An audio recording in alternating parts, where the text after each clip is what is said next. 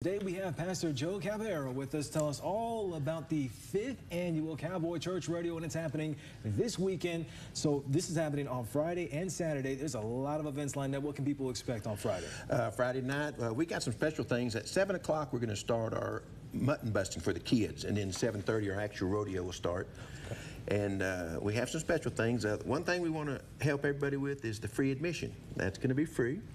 We also have our chuck wagon crew set up that are going to be cooking the uh, old style Dutch oven cobblers and homemade ice cream. Cobblers and which will be homemade ice cream. complimentary. Okay. And uh, then we have, of course, everybody loves the calf fries and the catfish, so we're going to have that. Uh, but most important is uh, we want to honor our veterans, uh, both past and present.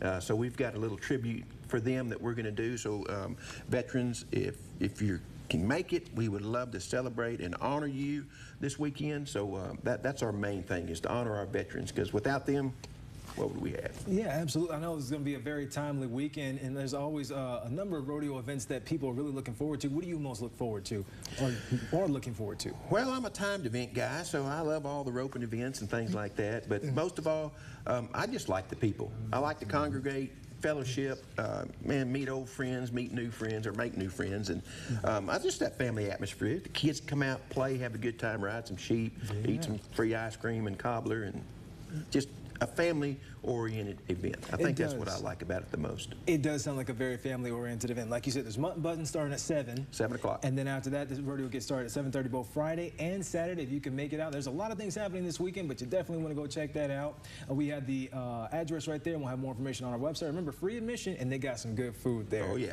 All right, Pastor, well, thank you so much for joining us. We've got the entertainment Okay, report coming up after the break. Don't go anywhere. We'll be right back. Thanks for having me. Thank you.